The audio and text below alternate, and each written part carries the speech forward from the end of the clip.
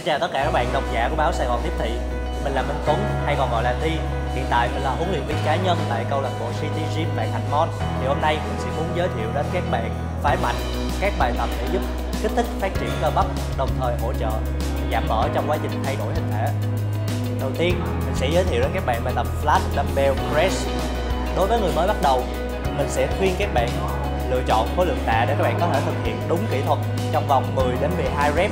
Đối với bài tập này các bạn chỉ cần hai dụng cụ đơn giản đó là ghế và hai cục tạ đơn. Và đây sẽ là một bài tập trọng tâm cho vùng ngực, vai và tay sau. Nằm chắc chắn trên ghế, giữ tạ thẳng tay ở phía trên vai. Từ từ hạ cùi chỏ sâu nhất có thể. Đẩy thẳng tay về vị trí ban đầu. Hạ tạ kiểm soát, hít sâu, đẩy lên dứt khoát, thở ra sau đây mình sẽ giới thiệu đến các bạn bài tập thứ hai, động tác dumbbell shoulder press. Bài tập này sẽ tập trung kích thích vào vùng vai của các bạn.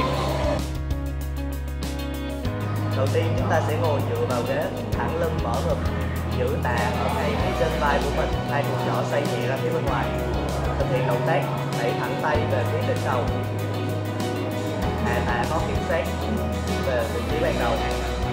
Cách hít thở, đẩy thẳng tay thở ra bằng miệng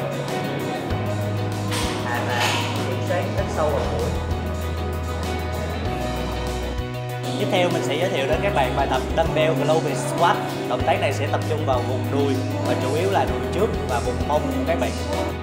Giữ tạ sát ngực, mở đầu gối, ngồi xuống có kiểm soát Đứng thẳng lên về vị trí ban đầu. Ngồi xuống hít sâu, đứng lên thở ra. Lưu ý, giữ thẳng lưng trong toàn bộ chuyển động.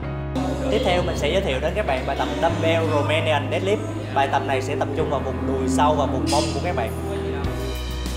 Giữ tạ hai bên đùi, Đẩy mông về phía sau có kiểm soát, Đồng thời hít vào, Đẩy mông về phía trước dứt khoát, Thở ra. Lưu ý, giữ thẳng lưng trong toàn bộ chuyển động. Bài tập thứ năm là bài tập Dumbbell Curl. Bài tập này sẽ tập trung vào vùng bắp tay trước của các bạn. Giữ tạ hai bên người, giữ cùi chỏ sát thân người, kéo tạ về phía vai, thở ra. Hạ tạ kiểm soát đến vị trí thẳng tay, hít vào.